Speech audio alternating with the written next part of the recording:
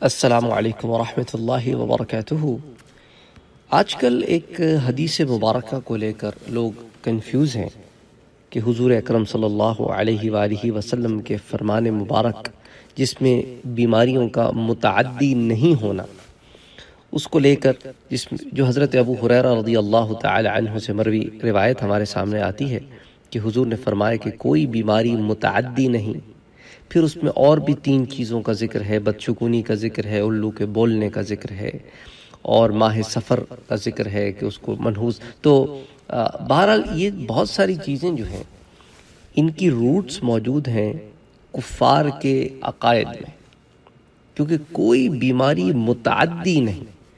اس کو پہلے آپ سمجھیں تاکہ پھر آپ کے ذہن میں یہ مسئلہ تو حل ہو جائے۔ کہ کسی بیماری کا متعدی نہ ہونے سے مراد یہ ہے کہ کوئی بھی بیماری خود خود سے اپنی ذات میں خود متعدی نہیں ہوتی۔ کسی کو کوئی بیماری لگ جائے، یہ بھی اللہ ہی کے مرضی سے ہوتی ہے۔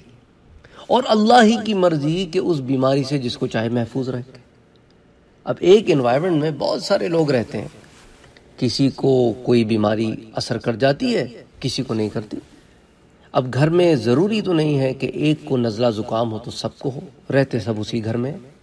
ایک کو ہوتا ہے، ایک کو نہیں ہوتا، ایک کو کم ہوتا ہے، ایک کو زیادہ ہوتا ہے۔ تو بیماری بذات خود یہ قوت اور طاقت نہیں رکھتی کہ متعدی ہو، کیونکہ کفار مکہ کا آپ کو مائنڈ سیٹ سمجھنے کی ضرورت ہے۔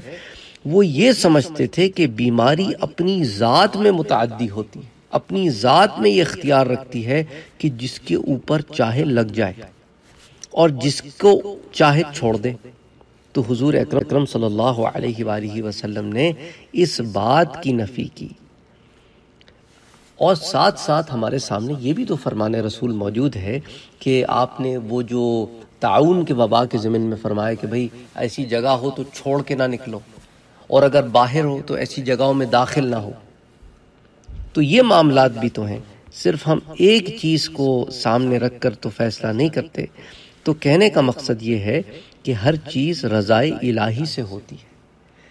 اسی لیے اپنے ذہن میں یہ یہی فرق ہے کہ ایک مسلمان میں اور غیر مسلم میں کہ مسلمان ہر چیز جو بھی کچھ ہو رہی ہے اس کے ذہن میں اس کا پختہ یقین ہوتا ہے کہ یہ میرے رب کی مرضی سے ہو رہی ہے۔ میرا رب چاہتا ہے تو ہو رہی ہے، نہیں چاہے گا تو نہیں ہوگی۔ جبکہ غیر مسلمین ہر چیز کو کسی سبب کی طرف لے کر جاتے ہیں کہ بھی بارش ہو رہی ہے کیونکہ بادل آ گئے ہیں۔ لیکن مسلمان کہتا ہے کہ بارش ہو رہی ہے کیونکہ میرے رب کا حکم ہے۔ تو خیر بہرحال، بڑی مختصراً اس کو آپ نے یوں ہی سمجھنا ہے اس لیے حضور صلی اللہ علیہ وآلہ وسلم نے جلد کی بیماریاں جو لگ جاتی ہیں، ایسے لوگوں سے دور رہنے کا کہا ہے۔ بخاری شریف کی روایت ہے کہ فرہ من المجزومی فرارک من الاسدی کہ جزام کی بیماری میں مبتلا مریض سے اس طرح بھاگو جس طرح شیر سے بھاگتے ہو۔ تو کہنے کا مقصد یہی ہے، امید کرتا ہوں کہ اس مختصر بات سے آپ کو یہ بات سمجھ میں آ گئی ہوگی۔ اسی طرح ایک اور روایت پیش کرتا ہوں آپ کے سامنے۔ یہ بخاری شریفی کی روایت ہے کہ حضور صلی اللہ علیہ وآلہ وسلم نے جب اس بات کا ذکر کیا کہ لا عدوہ کوئی بیماری متعدی نہیں ہوتی، تو ایک شخص نے عرض کیا کہ اے اللہ کے رسول، صلی اللہ علیہ وسلم اونٹ ریگستان میں ہرنوں کی طرح ہوتے ہیں، لیکن جب خارش زدہ اونٹ آتا ہے تو انہیں بھی خارش لگ جاتی ہے۔ تو تب حضور نے فرمایا، فمن عدل اول مجھے یہ بتاؤ کہ پہلے اونٹ کو خارش کس نے لگائی تھی؟ کیا بیماری خود اس بات پر قادر تھی؟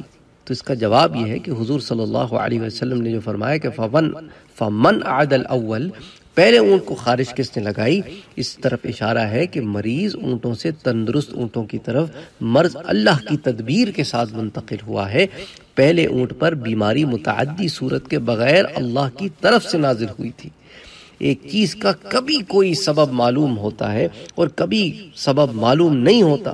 جیسا کہ پہلے اونٹ کی خارش کا سوائے تقدیر الہی کے اور کوئی سبب معلوم نہیں، جبکہ بعد والے اونٹوں جن کو خارش لگی ہے تو معلوم ہوا کہ ان کو خارش اس اونٹ کی سبب سے لگی۔ تو خیر، بہرحال امید کرتا ہوں کہ اس بات سے آپ کے ذہن میں یہ بات کلیئر ہو گئی ہوگی۔ السلام علیکم ورحمۃ اللہ وبرکاتہ۔